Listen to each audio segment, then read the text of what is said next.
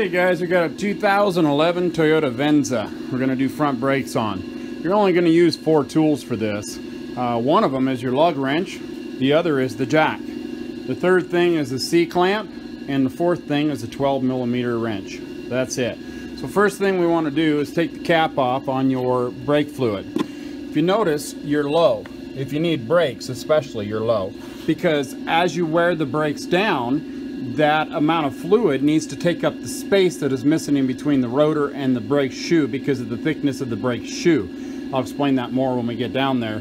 This job really doesn't take that long. This car is quick and easy to do these on. Um, so let's take the cap off because we're going to be forcing the, the fluid back into here with the C-clamp so that we don't have to bleed the system. Very simple process here. Uh, one person can do this in about 20 minutes, both sides. So um, again, let's don't top off the fluid yet and you'll see that level there is going to raise. Right now you can see we need to be up to here and we're down to there. So we're not going to add any fluid yet. If we were just going to um, top off all the fluids, we can do that. But since we're changing the brakes, we're not going to top off the fluid because we're going to force some of that fluid back in there. So let's go ahead and get this tire off.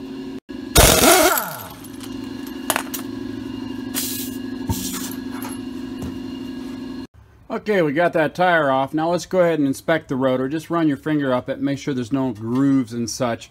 Your rotor sometimes needs turned if it's not really smooth on both the front and the back. And if this is too thin because this thickness here, because it's been turned before, then you're going to want to replace the rotor. And they'll let you know that when you take it down to an auto parts store to see if you can get it turned.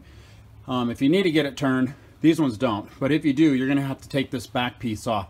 But in our case, we're going to separate the caliper. So right back here, let me turn the light on. Okay, so right back here, you see this little spongy looking uh, gasket here? That's where your 12 millimeter is. There's going to be one on the top and one on the bottom. So let's go ahead, at this point, we'll grab our 12 millimeter ratchet wrench because it's quicker. And I got it going the wrong way. And let's take those off.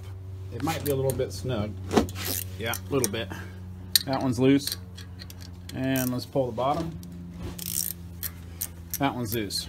Now we can put take those off and we'll pull this caliper back. Okay, so now we got the two 12 millimeter bolts off. We can grab this caliper and yank it back out of there. Just like that. We'll set it aside. We need to run the pistons down. We can pull the brakes off at this point. There's one of them. And there's the back one. Now, if you notice the back one, will have the piece on it that tells you when the brakes are going too low. See that piece of metal right there? It will rub, here's the thickness, when it gets down to that point, it'll rub and squeal on that, and that's telling you, hey, you need to change your brakes. In this case, there's still a lot of meat left on these, but there's been a lot of hard stopping, a lot of mm, and quick, real quick stopping. And so the glazed over the brakes here. A lot of times you can just rough that up with sandpaper and go back to using it, but in this case, we're gonna change them. So we'll pull those off. Now we need to get this cylinder down. This is where we're going to pump the fluid up. Now, this is going to keep you from bleeding the brakes. So what I like to do is I like to take that front one that doesn't have that clip, set it back in the caliper, and this is where I use my C-clamp. I squeeze this down, and when I squeeze this down, let me move back, when I squeeze this down with the clamp, it'll take these two pistons and shove them back in, thus pushing that fluid back through that hose and up into that, that reservoir. So let's get that squeezed back. So as I turned this, I was cranking that shoe back. Now you see it move those pistons back. One hand here, sorry. So let's go ahead and take this clamp off now. Get that a clearer picture. Now they're back there, so we have the extra distance because the new brake shoes, you know, are much thicker and they're going to take up more space, so we need those moved back. Now, we've also shoved that fluid back. Let me show you what I was talking about. Now do you see our level? We don't need that much to fill it up because we brought it up. Also, we've done something else. With the lid off, we've allowed it to breathe, so the air has been forced out. Therefore, we don't have to bleed the system either. So let's go ahead and set the brakes back in there. Now, once again, when we set the brakes in, the backing, the one that makes the squealing, is going to go towards the back. You can see how it's rounded here and rounded with the rotor, so that means we want it to sit like this.